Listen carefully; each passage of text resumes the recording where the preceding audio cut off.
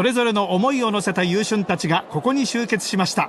用意された舞台を駆け抜け頂点に立つのはどの馬かいよいよ発走です。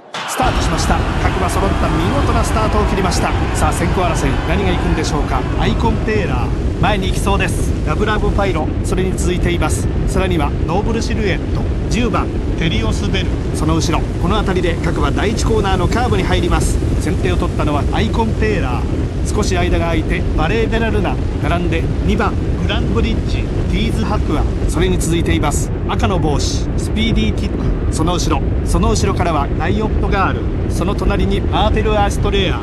レディバグ。そのうちに続いています。しんがりからサルサレイア。各馬砂煙を上げてかけていきます。もう一度先頭に戻りましょう。4番アイコンテーラー。依然として先頭。リードは1馬身から2馬身。ここで各馬第3コーナーのカーブに差し掛かりました。前はアイコンテーラー。アイコンテーラー後続を引き離していく。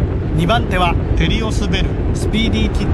3番手後続集団も追い上げにかかります。さあいよいよ直線の攻防。アイコンテーラー先頭。しかし後続との差が縮まってきました。このまま踏ん張りきれるか残り 200m を通過してグランブリッジ抜けた2番手はアイコンテーラーグランブリッジゴーリン2着は微妙です。勝ったのはグランブリッジこのレースを制したのはグランブリッジ